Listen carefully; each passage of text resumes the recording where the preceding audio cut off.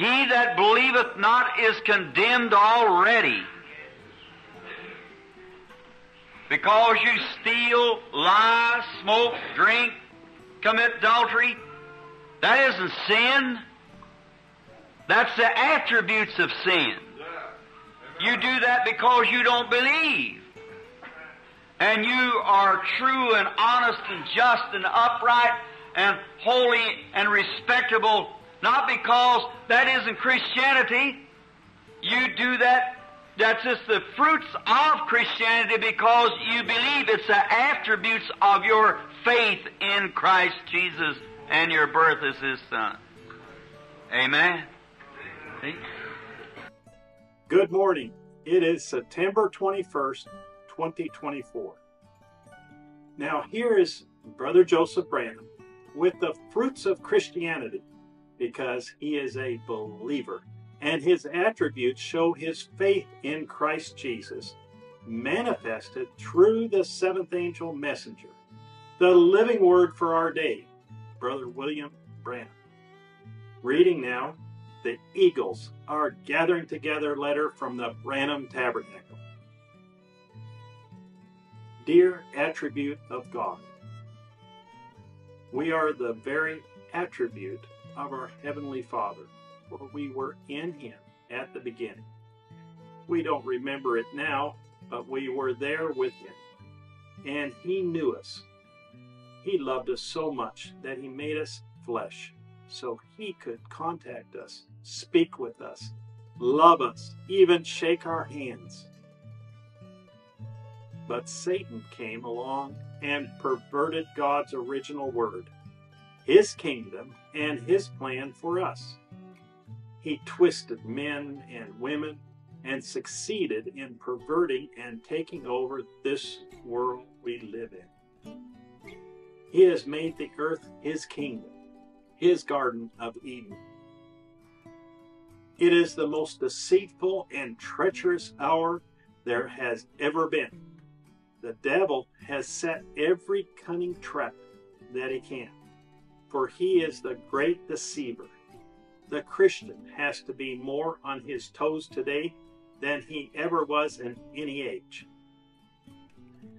But at the same time, it is the most glorious of all the ages because we are facing the great millennium.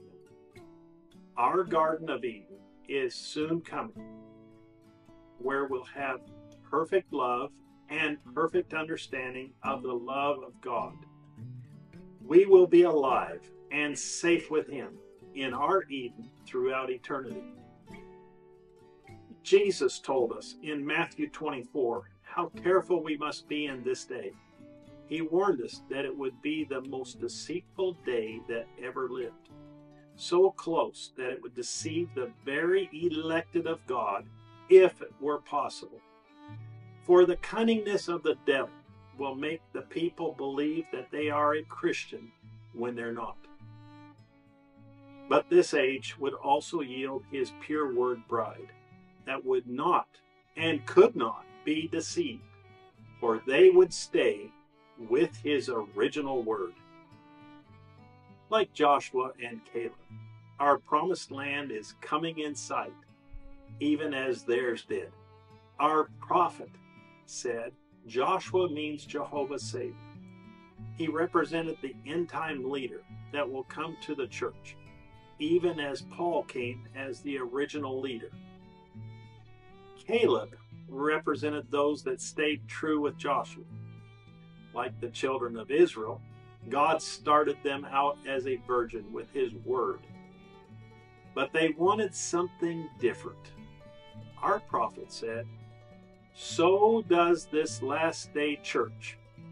So God did not let Israel go into the promised land until it was his own appointed time.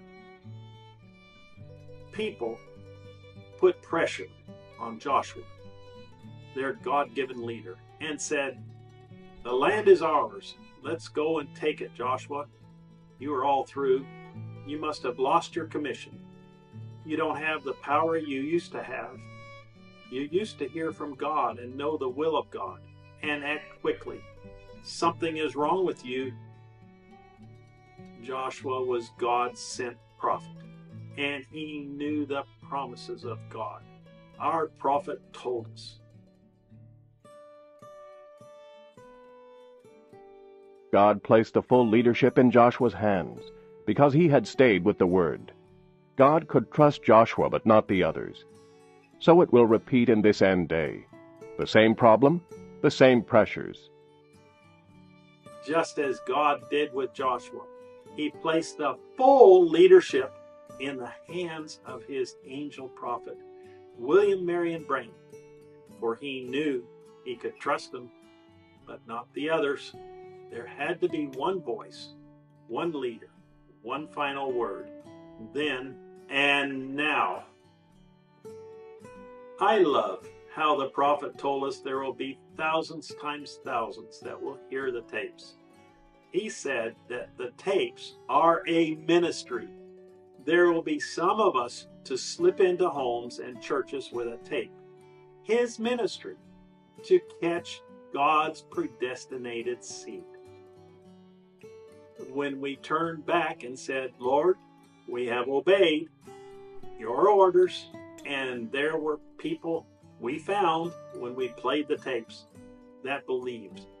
Now we have preached that around the world. Will you honor it?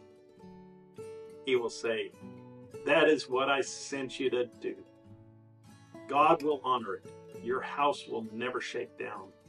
When God gives the signal to destroy the whole thing, all of your family, all of your possession will be safe in your house. You can stand there. You didn't have to look out the window. Just press play while the battle is going on. Thy words were found, and I did eat them, and thy word was unto me the joy and rejoicing of my heart. For I am called by thy name, O Lord God of hosts. I invite you to come join us as we eat God's great live end time ministry this Sunday at 12 p.m. Jeffersonville time as we hear all about Satan's Eden 65 0829. May we live till the coming of the Lord. If it be possible, May we do everything that's in our power with love and understanding. Understanding that God is searching the world today, finding every lost sheep. And may we talk to them with seasoned prayer of love and the Word of God that we might find that last one. So we can go home and get out of this old Eden of Satan here. Brother Joseph Branham. Scriptures to read before hearing the message 2 Timothy chapter 3 verses 1 through 9. Revelation chapter 3 verse 14. 2 Thessalonians chapter 2 verses 1 through 4. Isaiah chapter 14 and verses 12 through 14. And Matthew chapter 24 verse 24. This concludes the letter, and until next time, God bless you and shalom. www.branhamtabernacle.org and www.svfellowship.info